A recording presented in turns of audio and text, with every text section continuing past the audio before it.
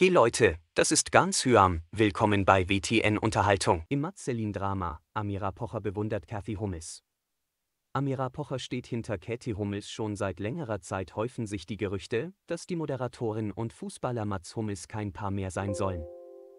Nach Flirtgerüchten mit Lisa Marie Straube soll er zuletzt Germany's Next Topmodel-Siegerin Celine Bittmann gedatet haben. Seine Frau hat auf die Schlagzeilen recht gelassen reagiert und auch ein paar lustige Kommentare diesbezüglich im Netz geteilt.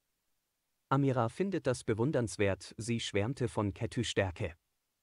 In ihrem Podcast Die Pochers kamen die Let's Dance-Teilnehmerin und ihr Mann Oliver Pocher auch auf die aktuellen News rund um die Hummis zu sprechen. Kathy hat super reagiert, wie man sie auch kennt. Ich finde, sie hat sehr viel Humor. Sie kann so viel ab, das ist der Wahnsinn, schwärmte die 29-Jährige von der gebürtigen Dachauerin. Von Celine, der angeblichen Datepartnerin des Kickers, hält sie hingegen nicht viel. Ich bin absolut Team Kathy. Ich hoffe, Mats macht einen großen Bogen um die Frau, stellte Amira klar. Aber was hat die Österreicherin überhaupt gegen das Model? Ihrer Meinung nach habe es sich in dem Dating-Drama nicht korrekt verhalten, Sie hat sogar einen Rat für Celine. Wenn du einen Typen datest, der in der Öffentlichkeit steht, dann erstmal das Handy in der Tasche lassen, weil dann ist es ja offensichtlich, was die Ambitionen sind, auffallen um jeden Preis.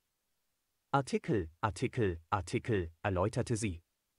Das Verhalten der Influencerin bezeichnete Amira sogar als respektlos. Hey guys, this is Gansham. Well, subscribe our channel and press the bell icon and like our video and share with your friend and family. Thank you very much for watching our video. Thank you.